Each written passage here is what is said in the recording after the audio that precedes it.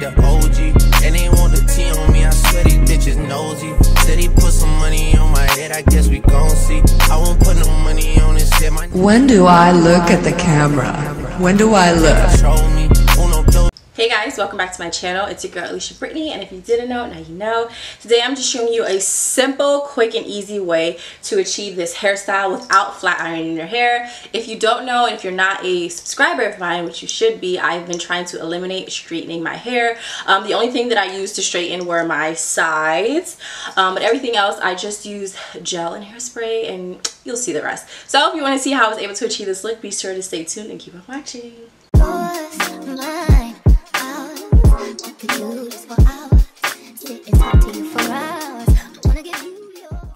Alright guys, jumping right into the tutorial for this video, I just want to give a quick heads up that this video will not have a lot of talk over or voiceover just because I feel like this hairstyle is kind of self-explanatory for majority of the time.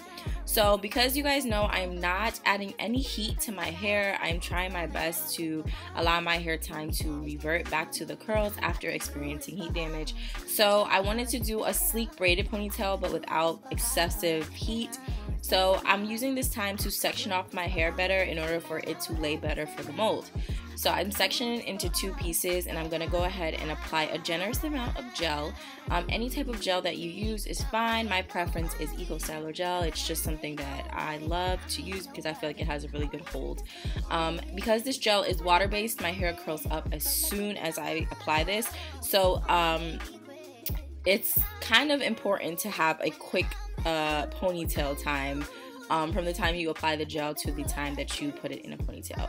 So once you apply the gel, go ahead and separate it, the bottom, mold it down, and then go ahead and you're gonna just put the top of your hair into that same ponytail and mold that down as well. And I, and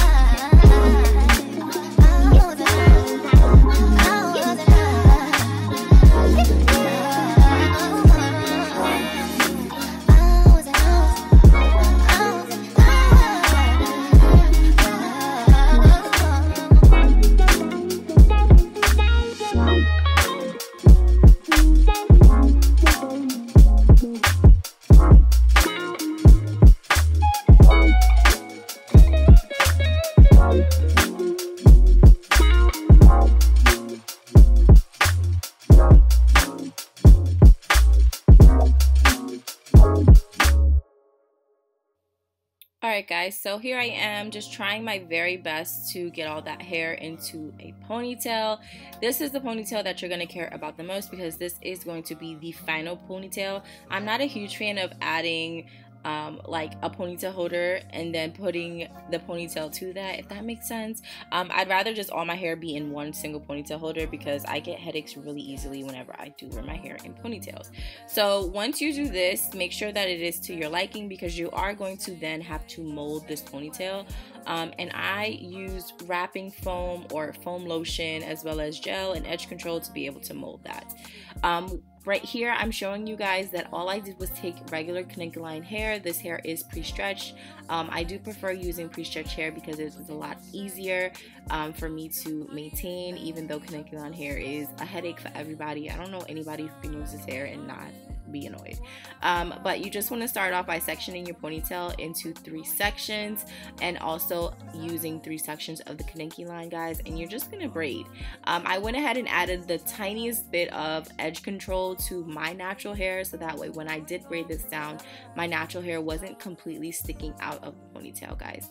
Um, that is one way that it is an alternative to straightening your hair when you are doing a braided ponytail um, because I know a lot of stylists straighten out the ends of your hair However, the ends of your hair are the oldest, so they are the most fragile. Um, so yes, I didn't want to add that much heat, so that is what I did. Um, when you are doing any type of feed-in braid, it's also very important that you make sure that you're kind of measuring it by your fingers. Whenever you feel like it's getting skinny, add hair, okay? Just add just a little, little bit of hair, and eventually it will look like a full braid.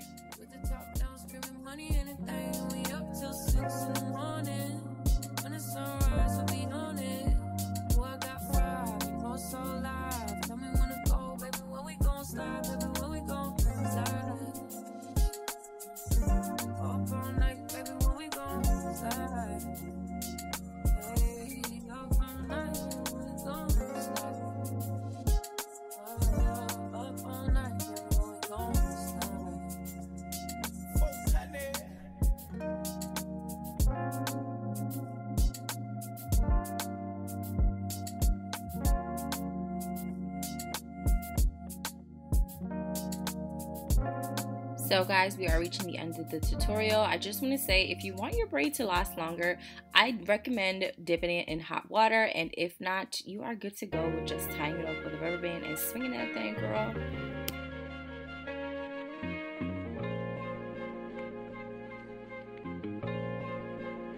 So guys, that's the end of the video. Thank you so much for watching. If you have any questions, please be sure to leave them down in the description box below.